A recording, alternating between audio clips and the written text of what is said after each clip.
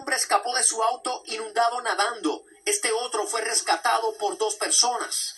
Mientras que un grupo de tres salió de las inundaciones en bote debido a la cantidad de agua acumulada durante todo un día de lluvia en la ciudad de Fort Lauderdale, en Florida. La cantidad de precipitación fue tanta que en el aeropuerto internacional había hasta olas en la pista de aterrizaje, lo que llevó a las autoridades a suspender las operaciones hasta el viernes. Y con ello la cancelación de vuelos y pasajeros obligados a pasar la noche en el terminal y con la angustia de llegar a casa lo antes posible. Cerca de allí, sobre un paso a desnivel en una carretera, se formó una pequeña catarata.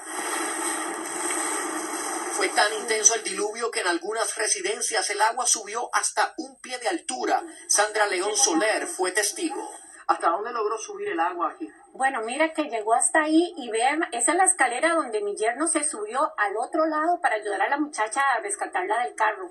Chiara Castillo vivió algo similar. Estaba lloviendo mucho cuando se me dio por chequear las cámaras a ver cómo estaba el panorama acá y eh, vi que mi casa se estaba inundando. Ahora trata de sacar el lodo que trajo la lluvia, ya que nunca imaginó que unas inundaciones le obligaran a empezar de cero.